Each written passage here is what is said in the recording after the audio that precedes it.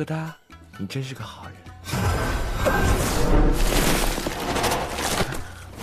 啊！我叫沈黎，你再叫一声疙疙瘩试试。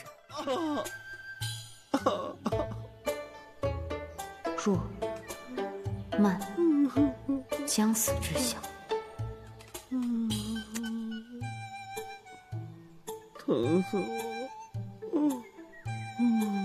我要死了！你该为你看过的笑话而付出代价。我不能让你这么轻而易举的死掉。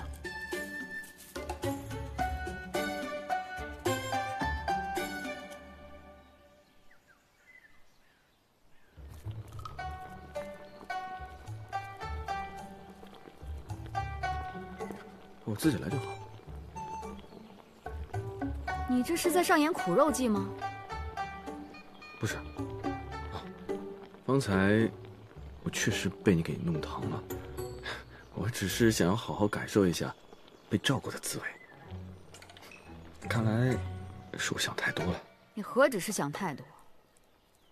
捉弄了我这么久，你竟然还妄想我照顾你？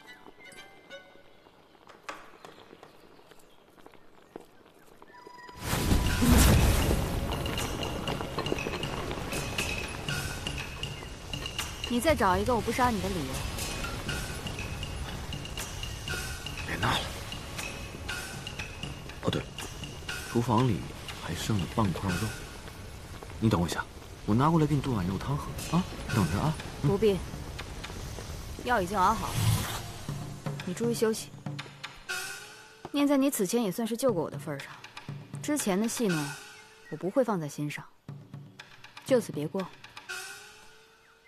你说什么？我说你伤好以后。哎呀，哎呦头疼，哎呦哦，哎呦！你不是手断了吗？头疼什么？你有所不知，我从小身体就不好，不管伤到哪儿，头都跟着疼。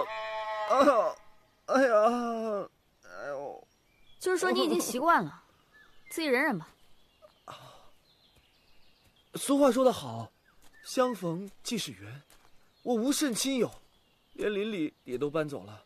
待你离开以后啊，麻烦跟官差说一下，十天半个月过后，就来到此院，给我收个尸。不过是断个手而已，何以至此？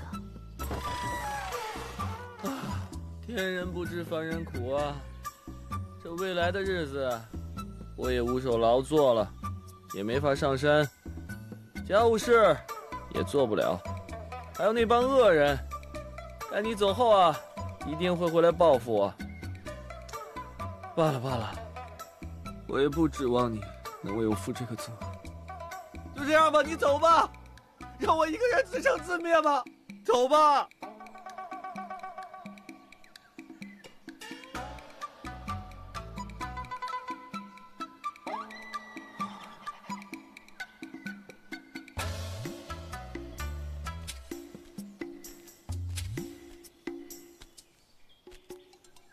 我只留到你伤好为止。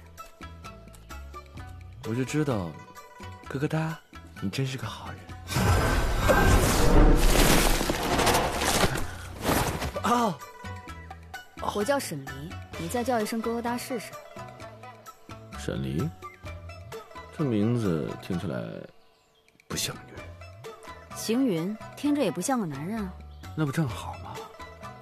你阳我阴。相处愉快，说不好，你脸皮太厚，嗯，还差点火候。